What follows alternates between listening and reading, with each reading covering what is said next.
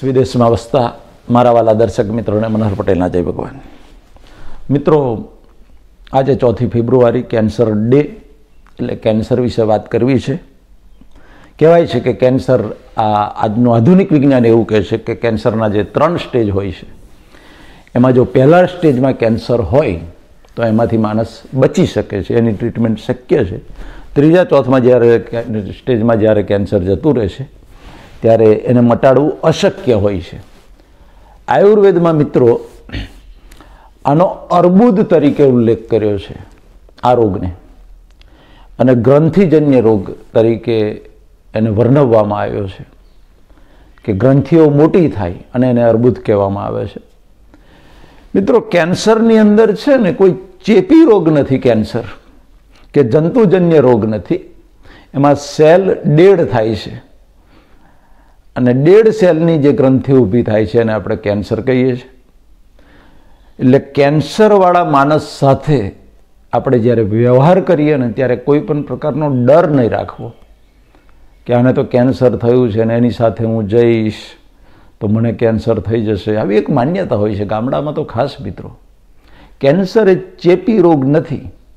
તમે એની સાથે સૂઈ જાઓ, તમે બેસો, ઉઠો, એની સાથે એક થાળીમાં જમો એનાથી તમને કશું જ નહીં થાય.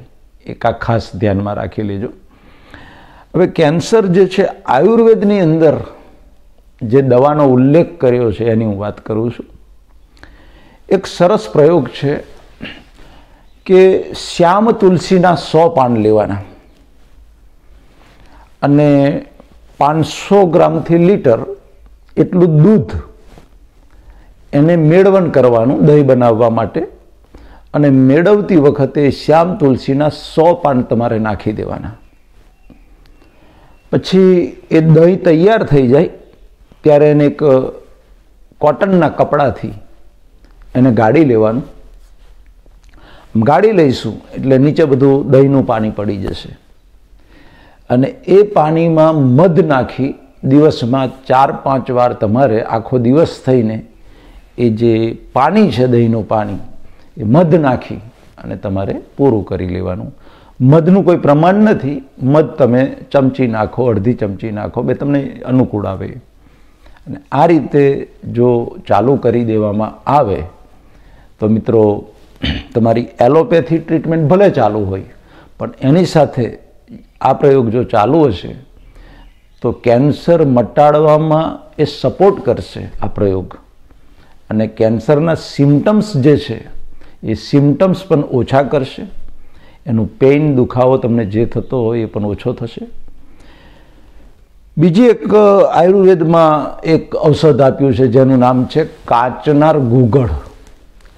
એ કાચનાર ગુગળની બે ગોળી સવારે, બે ગોળી બપોરે અને બે ગોળી સાંજે લેવી મિત્રો.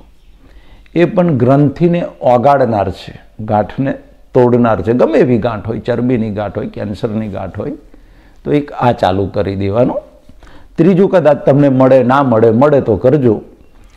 ખેરનું ઝાડ હોય, ખેરનું ઝાડ તમારી આજુબાજુ હોય તો એના પાન લાવવાના. આ અનુભવ સિદ્ધ પ્રયોગ છે, મારા મિત્રએ કરેલો છે.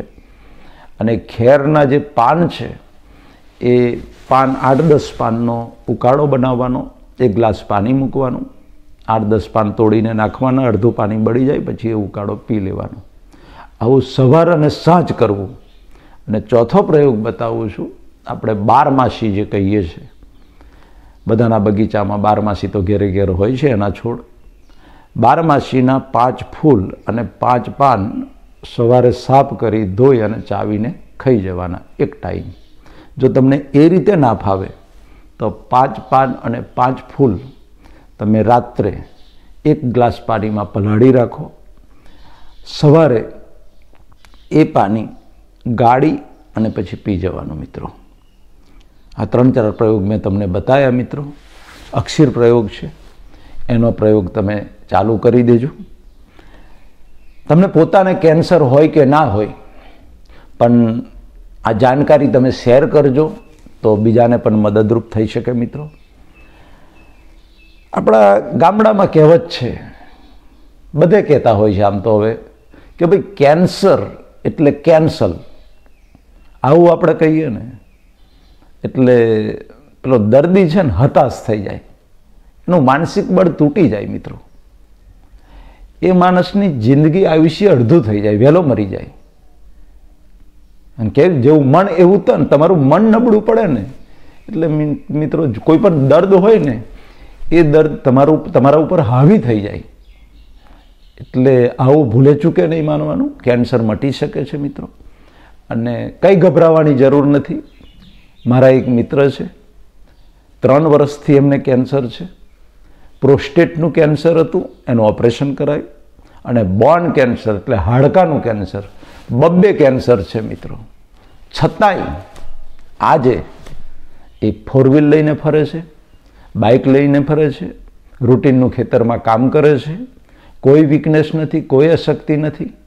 પણ એક વસ્તુ યાદ રાખજો કે એ ભાઈનું મનોબળ એટલું પાવરફુલ છે મિત્રો. એ માણસે કેન્સર સાંભળ્યું કે મને કેન્સર છે મોઢાની એક રેખા ના બદલાય, કોઈ ટેન્શન નહીં. મને કે, મનહરભાઈ, એક વખત તો જવાનું જ છે યાર કે. વહેલા મોડા ગયા વગર છૂટકો નથી. પછી જ્યારે લખેલું હશે ત્યારે મૃત્યુ આવશે. મિત્રો, આવી આવી ફિકર જોઈએ. એટલે કહ્યું ને કે ફિકર સબકો ખા ગઈ, ફિકર સબકાય પીર. અને ફિકર કીજો ફાકી કરે ઉનકા નામ ફકીર. હદ મેં ચલે સો હોલિયા, બેહદ ચલે સો પીર. પણ હદ બેહદ દોનું તજે ઉનકા નામ ફકીર. મિત્રો, ફિકર ચિંતા છોડી દો. મને કેન્સર થઈ ગયું છે, હું મરી જઈશ? ના મિત્રો. મારા સ્ટાફમાં એક મિત્રને કેન્સર થયું. કેન્સર થયા પછી ગળાનું ઓપરેશન કર્યા પછી તેર વર્ષ જીવ્યો એ માણસ. હરતો ફરતો. છેલ્લા એક જ મહિનો એને ખાટલામાં રહેવું પડ્યું. મેન્ટલી પાવરફુલ માનસિક. એટલે આમ કેન્સર થયું હું મરી જઈશ. મિત્રો, એવું કશું જ નથી. બધાને મરવાનું છે યાર. કોઈ આજ જશે, કોઈ કાલે જશે, દુનિયા પંખીડાનો મેળો છે. એવું છે? કોઈ આજે જશે, કાલે જશે. આ તો પંખીડાનો મેળો છે યાર. કોણ અમર કાકડા ખાઈને આવ્યું છે યાર? હું તમે બધા જવાના છીએ એકદમ વહેલા કે મોડા? અને કેન્સરવાળા જ મરે છે એવું કોને કહ્યું આ કોરોનામાં ઘણા ગયા. કોઈને ખબર હતી કે આવો રોગ આવશે ને અમે અમારી ટિકિટ ફાટી જશે. વગર કેન્સરે પણ એમને એમને જતું રહેવું પડ્યું. કોઈને એક્સિડન્ટ થઈને મરી જાય. તો વગર રોગે મરી જતા રહે છે. એટલે કેન્સર થયું હોય તો મૃત્યુનો ડર કાઢી નાખજો મિત્રો. મૃત્યુનો ડર રાખવા જેવો નથી. એવું હોય તો મારા સત્સંગના વીડિયો સાંભળી લેજો અને ગીતાને યાદ કરી લેજો કે ભાઈ આ દેહ શરીર મરે છે, આત્મા અમર છે. હું હતો, છું અને રહીશ. મારું મૃત્યુ કોઈ દિવસ હોઈ શકે નહીં. આવી એક ખુમારી આવશે ને, તો કોઈ પણ બીમારી, કેન્સર કે ગમે તે હશે ને, એનો ડર નીકળી જશે. પરમપિતા પરમાત્મા મારા વાલા દર્શકોને લાભો અને નિરોગી આયુષ્ય આપે હૃદયથી પ્રાર્થના. મનહર પટેલના જય ભારત, જય હિન્દ.